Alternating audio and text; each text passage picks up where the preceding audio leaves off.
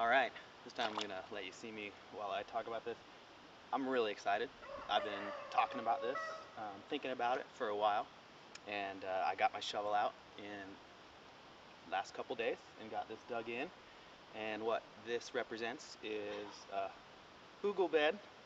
I do have aspen planted on the, or buried in the back, in the backside of aspen, excuse me, alder, buried in the back, um, and down low in the, in the tall part there.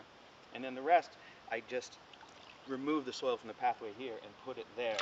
Um, as you can see, I'm really fortunate. I got really nice black dirt. Um, but an important part of this is the aspect. This is east-west, that's west, and so that's due south right there. Now this garden slopes kind of towards the north, and I've done these other raised beds, and I've been making them level, sort of, but it even still slopes a little to the north.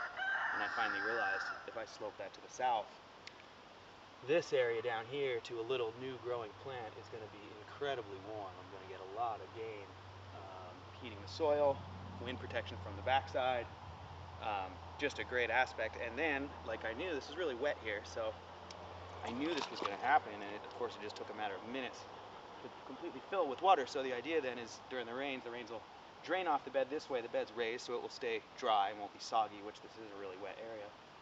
But then those the water will then have to be, go under the bed, so it will be returned to the roots of the plants.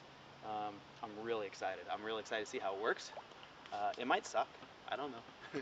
I'll give you updates. Um, I haven't decided what I'm going to do. I, I, was thinking I'd use the bed uh, maybe with a hoop house this early. It's the first of March or so, second, third, something. Um, and I'd use that and get starts going and then put them out into the outside beds as the weather progressed. But my other thought is maybe to make this a perennial bed. I do have some buckwheat and some vetch seeds, so I could get a green mulch going, and then a couple fruit trees on the backside, and some berries sort of along the top, um, and so on and so forth, and sort of get this going as a perennial northern border uh, to my garden. So um, we'll see which direction I go, maybe both, I don't know.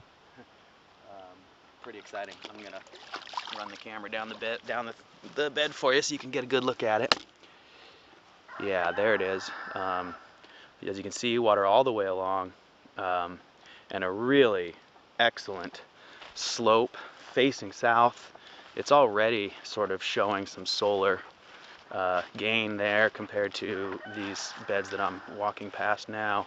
Um, I'm just thrilled about this. Here it is looking back. and you can see the difference in aspect um, clearly. That's actually, that's a great illustration shot right there. The aspect of the new bed, obviously, um, going to be picking up a lot more sun than those other ones. And here on the backside you can see a little bit of the material, hugel material is exposed, most of it's buried. Um, so, yeah, wish me luck.